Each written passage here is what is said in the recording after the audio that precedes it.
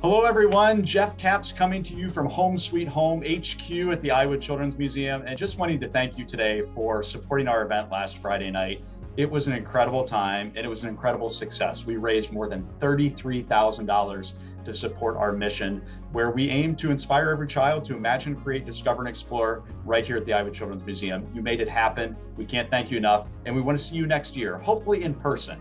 Uh, the date is Friday, February 25th, 2022 at the Coralville Marriott. We want you to save that date. And so when I say save, I mean save the date. Like I would probably grab, you know, my Purple Rain album jacket and I would just, you know, simply take the date and I would slide it right in here like that because I am sure to find it in that location. And then I can register. So there you go. There's your tip for the day.